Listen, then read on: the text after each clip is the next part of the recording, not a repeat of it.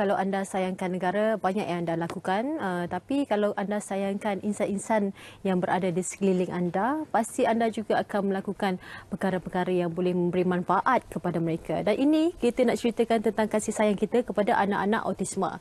Dan hari ini uh, topik kita adalah bercerita tentang Karnival Semarak Autisma 2019 dan kita ada tetamu yang akan berbicara lanjut mengenainya. Kita ada Dr. Hasnah Tora merupakan pengarah Genius at Kurnia. Terima kasih doktor bersama dengan kami hari ini. Kasih um, saya. Karnival Semarak Autisma 2019 ya. Um, sebelum kita cerita tentang karnival, mungkin kita boleh uh, selusuri uh, cerita tentang uh, Kurnia itu sendiri, Genius at Kurnia. Uh, hmm. Kurnia uh, baru berusia 4 tahun. Uh-huh. Kita uh, berikan perkhidmatan kepada kanak-kanak yang mengalami autism okay. dan juga keluarga mereka. Uh-huh. Jadi anak-anak 6 tahun ke bawah. Jadi uh, uh-huh. target kita adalah kita siapkan mereka supaya mereka boleh pergi ke sekolah dalam keadaan yang lebih bersedia. Hmm. Dan uh, sekarang ni kita ada lebih kurang 400 orang anak hmm. uh, autism dan um, waiting list kita pun panjang hmm. dan insyaallah uh, segera mungkin hmm. kita akan buka di uh, Alostar dan Melaka insyaallah.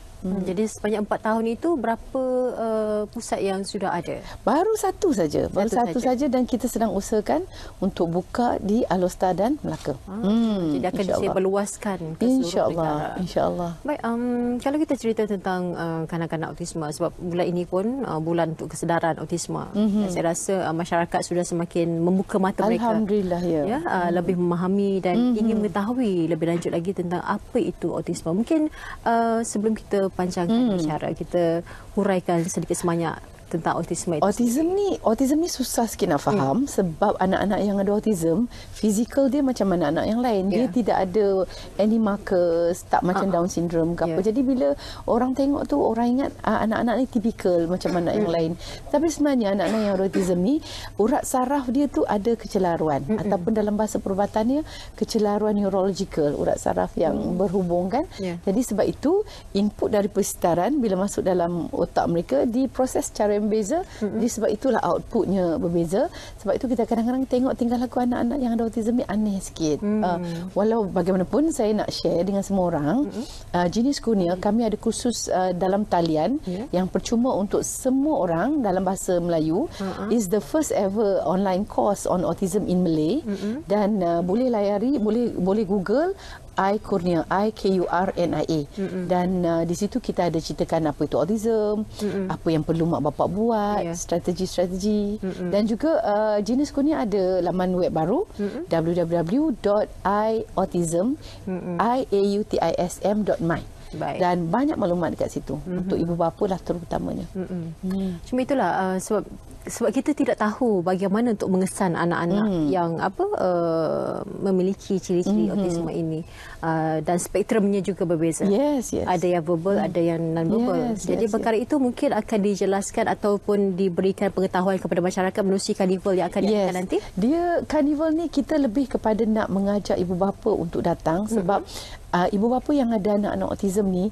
dia kadang-kadang uh, bimbang nak keluar hmm. nak bawa anak ke tempat-tempat keramaian hmm. sebab bimbang takut anak bertingkah laku Tantrum. negatif dan sebagainya. Uh-huh. Jadi uh, tema kita pada hari Sabtu ni adalah play all day dan hmm. kita dah sediakan banyak permainan, hmm. water play, sand play dan semuanya adalah percuma. Uh-huh. Dan kita nak galakkan mak bapak ini datang okay. dan kalau kata mak bapak yang uh, tak pasti atas pakar anak ni autism ke tak autism, uh-huh. kita sediakan satu satu reruai, okay. satu booth di mana mak bapak boleh datang, boleh bincang, hmm. boleh tanya on the spot macam tu. Hmm. Dan yang penting sekali saya rasa adalah kita nak sediakan satu uh, acara hmm. di mana ibu bapa boleh datang, boleh berkenal-kenalan dengan ibu bapa yang lain sebab saya rasa um, salah satu cara yang terbaik untuk ibu, ibu bapa hmm. nak bantu diri sendiri dan bantu anak adalah dengan membina jaringan dengan ibu bapa yang lain hmm. supaya boleh berkongsi maklumat. Ha, sebab hmm. pengalaman masing-masing berbeza. Hmm. Anak-anak ini juga berbeza hmm. mereka. Contohnya, tidak. contohnya ada ada